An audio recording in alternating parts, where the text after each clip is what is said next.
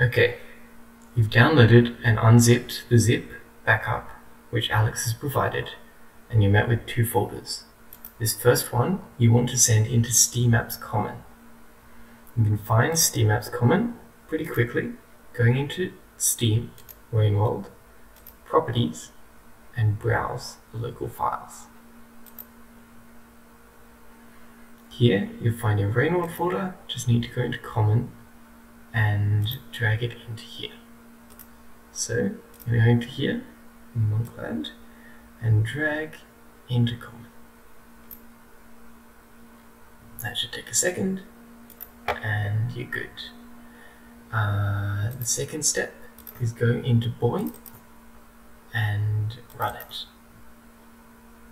You will need to select the path to your Rainworld Monkland folder, is going to Common, Rainworld Monkland, click on the Rainworld executable and open.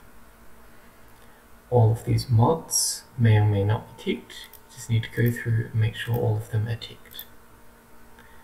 Uh, once that's done, you can go into additional tools, extended dev tools, change Karma Cheat to 10, and tick Force Neural Glow.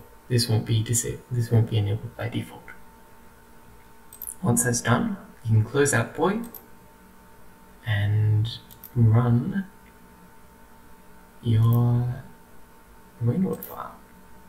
Make sure you're running Rainworld Monkland. Run the game.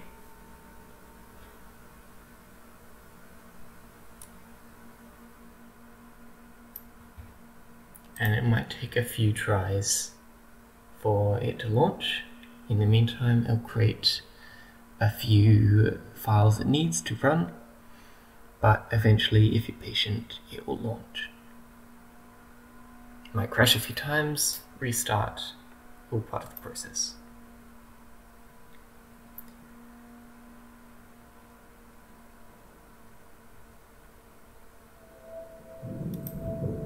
Once the game is running stably, just need to go into options, mod config,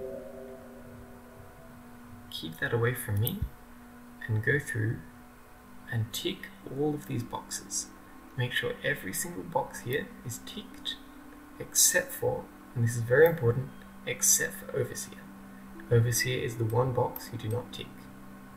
Apart from that, every box ticked.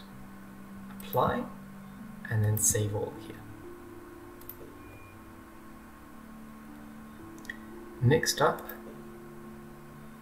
when we're just setting up the game, you're going to go into multiplayer, join, and refresh. The game should appear here, and you just have to join. Uh, have fun playing!